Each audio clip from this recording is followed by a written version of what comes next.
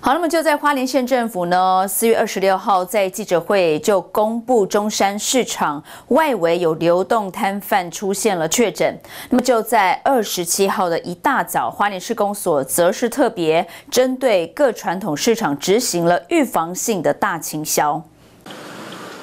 相继二十六号在中华市场清消之后，花莲市清洁队二十七号持续派出一台消毒车及三名人员，针对中山市场、重庆市场及复兴市场执行预防性清消工作。队员们一早就在中山市场准备待命，并由清洁队长吴庆展向市长魏家贤说明这次的清消范围。那因为在昨天卫生局在公布哈相关的一个呃确诊者是在四八市场周边的一个流摊的部分哈。那所以，我们在这里也做预防性的，在市市场内部做预防性的消毒。那也会到呃流摊所会摆设的范围里面去做相关的清消。那也呃之前也有报道中华市场的一个呃确诊者的部分哈。那我们在昨天也停业一天来做相关的清消。那我们也用呃中央疫情指挥中心给我们的一个办法来做相关的一个确诊者的摊位来做相关的一个停业跟。框列者的部分来做相关的停业跟休息，